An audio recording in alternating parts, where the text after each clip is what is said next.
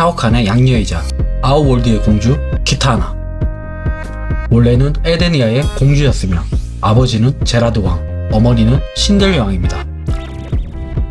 하지만 샤오칸이 에데니아를 침공하여 제라드 왕을 죽이고 신델을 강제로 자신의 아내로 맞이합니다.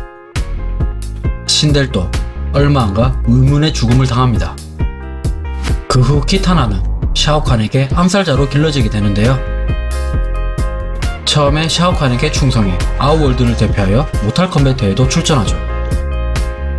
하지만 샤오칸이 키타나를 복제해 여동생 밀리나를 창조한 사실을 알게 되자 마음속으로 샤오칸을 증오하며 왕자를 뒤집을 기회만 노리게 됩니다. 그러던 중 지구의 전사 리우캉에게 비밀리로 접촉해 협력하였고 이때의 인연으로 둘은 사랑하는 사이가 됩니다. 리우캉의 활약으로 아우월드는 패배하고 어슬렐름을 지켜냅니다. 하지만 샤오칸은 죽은 신데를 지구에 부활시켜 아내를 찾는다는 명목으로 다시 침공하고 키타나는 어슬렐름 전사들과 합류해 싸웁니다. 오랜 친구였던 제이드를 어슬렐름으로 돌아서도록 설득하고 밀리나도 죽이게 됩니다. 샤오칸은 또다시 리우캉에게 패배하고 합병된 에데니아도 아우월드로부터 해방됩니다. 키타나는 부활한 어머니 신델의 혼을 정화시켜 에데니아를 다시 재건해갑니다. 그러나 부활한 신록이 네덜렐름의 악마들을 이끌고 또다시 에데니아를 침공하는데요. 밀리나도 신록에 의해 다시 부활하였습니다. 키타나는 외교력을 발휘해 앙숙 관계였던 고로의 쇼칸족과 오타로의 켄타오리안 종족을 연합시키는 데 성공하고 네덜렐름을 압박해갔습니다.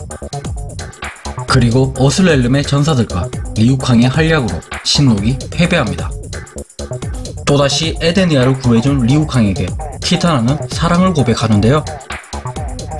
함께 에데니아를 통치하며 살자고 말하지만 리우캉은 모탈 컴뱃 챔피언이라는 숙명 때문에 거절하죠.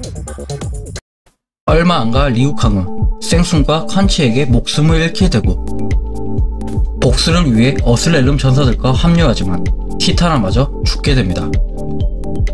그 후 드래곤킹 오나가에게 타락한 채 부활하고 이용만 당하면서 비참한 최후를 맞이합니다.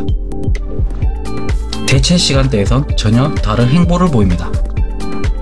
생숭이 밀리나를 창조한 것을 알고 샤오칸에게 보고하지만 오히려 생숭을 두둔하며 이제 필요 없다고 버림받습니다. 거기다가 공식적인 왕위 계승자는 밀리나이며 키타나는 신델의 간청으로 살려줬을 뿐이라며 악당까지 퍼붓죠. 원래 시간대처럼 제이드와 함께 어슬렐름 전사들과 합류합니다. 하지만 부활한 신들에게 목숨을 잃고 마는데요. 역사가 바뀌어 리우캉도 레이든에게 죽고 키타나와 함께 콴치의 사형마로 부활합니다. 둘은 네덜렐름의 편에 서서 레이든을 죽이기 위해 활동하는데요.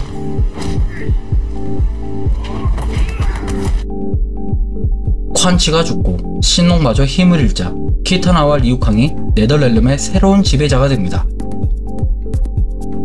하지만 레이든이 Special Force를 이끌고 네덜렐름의 요새를 파괴시키는데요.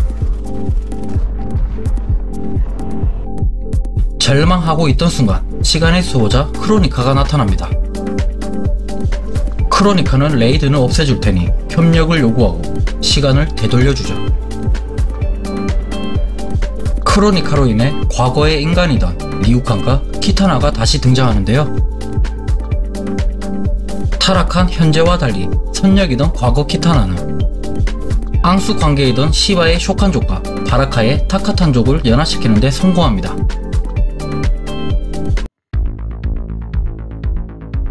그리고 연합군을 이끌고 샤오칸을 무찌르게 됩니다.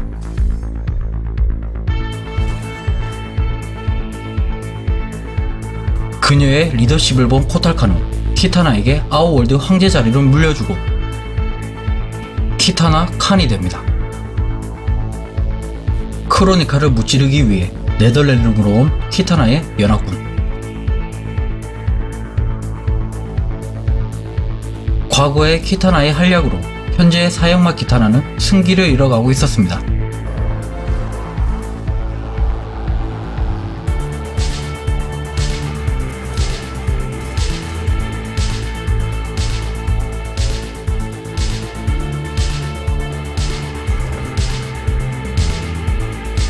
하지만 크로니카에 의해 또다시 시간은 되돌아가고 맙니다.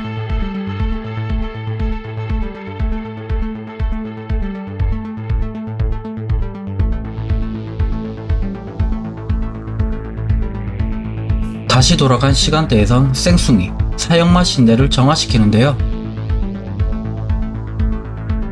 키타라는 신들과 기쁨의 재해를 합니다. 기쁜 또 잠시 또 다른 반전이 있었습니다. 베라드 왕을 죽인 것은 신데르였으며 샤오칸을 사랑한다는 충격적인 말을 합니다. 그리고 또다시 신델에게 버림받고 공격을 당합니다. 리우캉도 원래 시간대와 달리 샤오칸에게 패배하고 맙니다. 둘의 사랑은 결국 이어지지 못했습니다.